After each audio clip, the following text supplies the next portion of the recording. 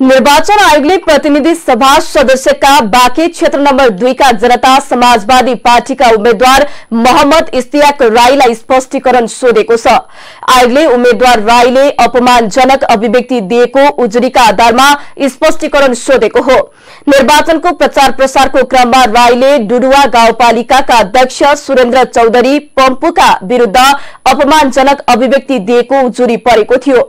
स्पष्टीकरण पत्रमा आफै वा आफ्नो प्रतिनिधि मार्फत निर्वाचन आयोग वा जिल्ला निर्वाचन कार्यालय बाँकेमा प्राप्त हुने गरी जवाब पेश गर्न निर्देशन दिएको छ निर्वाचन आचार संहिता दुई हजार उनासीको दफा चारमा सबैले पालना गर्नुपर्ने आचरण अन्तर्गतको खण्ड अणको प्रावधान कसैको चरित्र हत्या गर्न व्यक्तिगत लाछना लगाउन वा यस्तै प्रकृतिका सामग्री कुनै स्वरूपमा उत्पादन गर्न तथा त्यस्ता सामग्री कुनै माध्यमबाट प्रकाशन वा प्रसारण गर्न वा गराउन नहुने व्यवस्था स्मरण गराइएको छ।